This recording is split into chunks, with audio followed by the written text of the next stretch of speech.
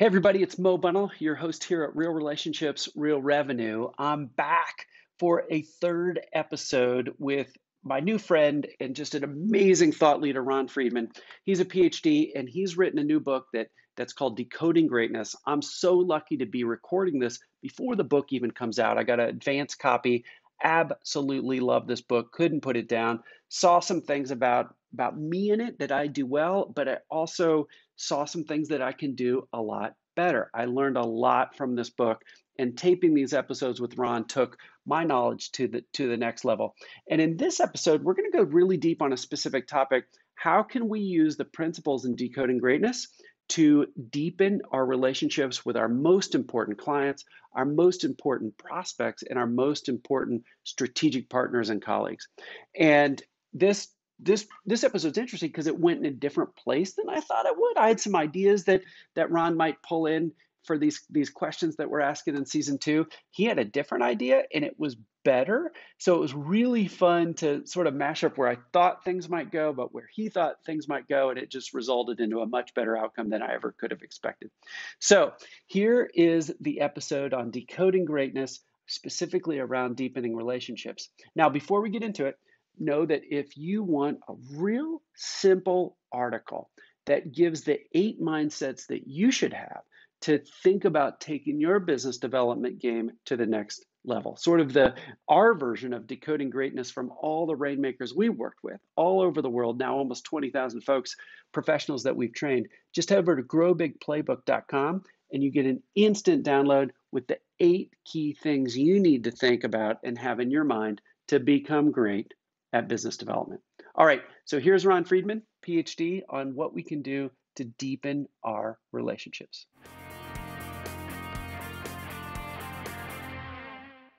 Hey, everybody, it's Mo Bunnell, your host here at Real Relationships, Real Revenue. If you didn't catch the last episode where Ron Friedman, my guest, author of Decoding Greatness, and I talked about how to create a scoreboard to drive more of your success, well, you want to go back and watch or listen to that one.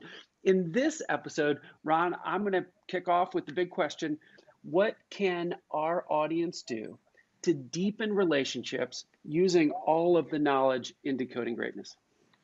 I'm going to give you a little bit of a counterintuitive answer, and it is to use your relationship as test markets.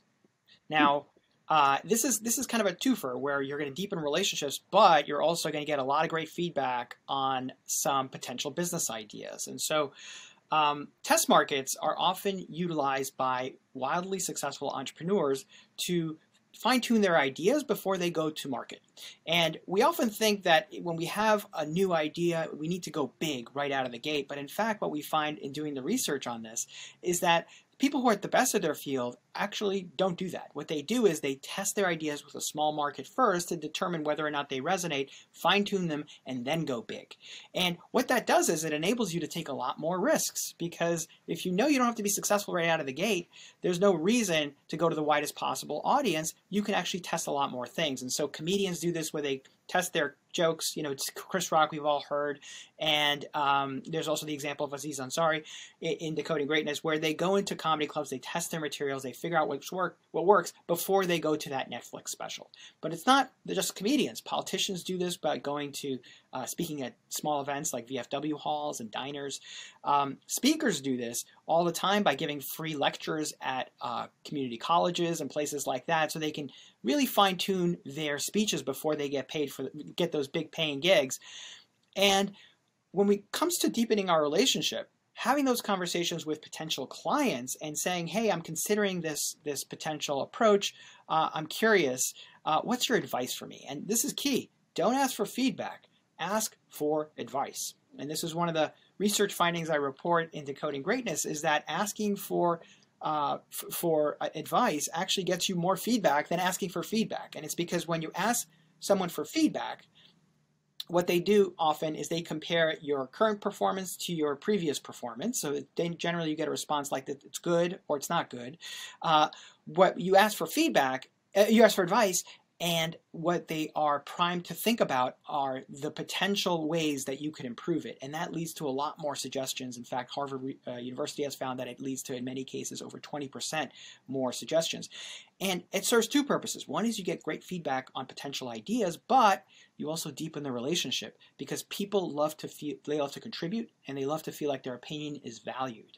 And so it's a little bit counterintuitive because I'm not going to come here and tell you, you know, give, give, give. I'm actually going to tell you take, take, take, but do so in a way that let, lets people feel like their opinion is valued and allows them to contribute.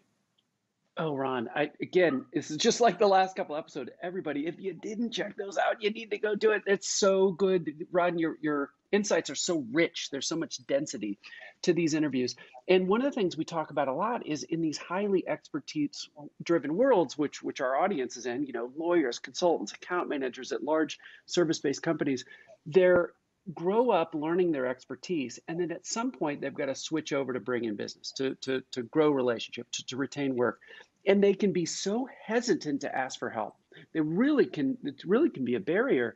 So i, actually want you to hit this head on from your perspective um, because your idea from ask for advice is so powerful it's actually a major technique and major thing that we teach in our system. It's mm-hmm. actually called Ask for Advice, so pretty cool alignment with what you what you talk about.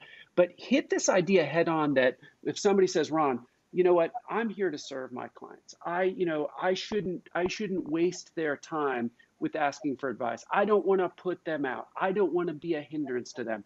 That's what they're thinking. They might not say it that strongly, but that's what they could be thinking. What's your advice to them? I think you're miscalibrating your approach. I think what people want in their relationships is to be valued and respected and appreciated. And what more, what better way to honor someone than to say, I value your opinion. I would love your mm. input on what I can do to improve. You know, there, there's a power dynamic at play there where if you're positioning yourself as better than your clients, that can work to a point and certainly with particular types of clients. But if you really want to deepen the relationship in a way that gets them invested in your success, asking for advice is a wonderful way to do it. And, and the other thing that not only not only is is it is an interesting tool, I don't, and I don't want to position this as kind of like mind games where uh, you're right. going to trick them into, into you might actually not get get more than you're bargaining for because you'll get some interesting feedback, potentially uh, feedback you hadn't considered uh, you know, we are not our clients, and it's really, really hard for us to imagine what it is like to be our clients. And part of that is, and I discussed this in chapter seven, the, the curse of knowledge, where knowing in particular information makes it impossible to imagine not knowing it. And so, for example, because you as a professional are so aware of your competitors and what they're offering, you might overemphasize differentiators that your prospect doesn't care about. And so, speaking to your customer getting their advice allows them, puts them in a position of feeling respected, gets you some feedback uh, that you can then use to fine tune your ideas, and might open up uh, your mind to ideas you hadn't considered and can lead them to suggest people who actually want that offering. So there's so many, so many uh, uh potential wins there that we overlook when we neglect that opportunity. I completely agree. And I'll even add to that, Ron, is that it also provides multiple follow ups later. I mean, how powerful it is to, to give your opinion, to give some somebody advice. And boy, I bet you and I could both think of examples where we did that. And then months later, weeks later, the person follows back up and says, Hey, I did the thing we talked about. Here's this awesome stuff that happened. Boy, that's this another wonderful feeling you get as the person that gave the advice. So it a lot of times our professionals, I want to put a fine point on this. They can say, "Man, I, so and so is really important to me, but I struggle to find follow-ups." So this ask for advice idea does all the things you mentioned, and it provides this annuity of follow-ups that you can go back later and make them feel even better because you acted on the advice that they gave. You should consider doing this for a living, Mo. Great so points. so let's and I, I, I can't say it enough. That's why so many times as i was reading decoding grace greatness i'm like i can't believe i haven't met ron before because he sounds like me. Or this is this new insider that's on the edge of something we teach. So it's just the alignment between our content is so strong. So let's finish this episode with this. If you i just want to ask a big overarching comment. I know you've, you've hit the the ask for advice idea but if but what, what's your next like when you think about decoding greatness and you had to close this episode on deepening relationships, what's your next big piece of advice you'd give just from maybe even if it's not in the book, like your personal experience, anything. What what is the last nugget you would give? on deepening relationships so you know i practice what i preach so in the book i talk about becoming a collector first as a means of enabling yourself to find patterns in the people whose work you respect and that can include finding uh, starting a collection of work of people who communicate really well and deepen relationships really effectively we all have people in our lives who we look for as the model as the people who do this extremely well and starting a collection of their emails, starting a collection of their the different ways that they communicate and having that to look at, visit almost like a museum. I describe it in the book of having a museum of examples to inspire you the next time you need to write something similar. And then decoding it by looking for some uh, some some noticeable patterns. And I do this where I've noticed that people who are really good at over email and this is something that may seem obvious, but man, it is hard to execute, is they always lead with not what's important to them, but what's important to you. And they do this really, really well. And they will hmm. manage to still get in what it is they want to ask of you. But starting with what's important to the client, to the person you're outreaching to, even if it's just to talk about a, a topic that you've connected with before, a non work related topic, just starting with that is so powerful. You will notice this if you start your own collection of people who've written you well worded emails. You'll notice them doing this all the time. And then practicing that by having by once you have some of those patterns that you've not uh, uh, identified creating that scoreboard for yourself so that you can then look to give yourself fee- your own feedback on the emails you've written before they go out so you can have a checklist of things you can look for like does this email connect with the client on a non-work related matter. And if it doesn't, you fix it before it goes out. And it's a way of not only identifying what are the things that work, but also ensuring that you implement them in your own daily life. Ron, I love it. I think that that's the perfect ending chapter to this episode. So people are going to want more of you. They're going to want to dig into decoding greatness and the other things you do. Where should they go? They can go on to decodinggreatnessbook.com. That is a great place to find out more about the book, pre order a copy, and get a free course called Reverse Engineering Success that shows you how to implement some of these strategies.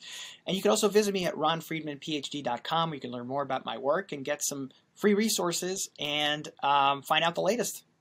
I love it. Ron, thank you for being on the show. And everybody, hey, check this out. You got to look, go back and watch or listen to those last couple episodes. And the next one, I'm going to ask Ron, how do we hack our own habits to be successful. Ron, thanks for being on the show. My pleasure.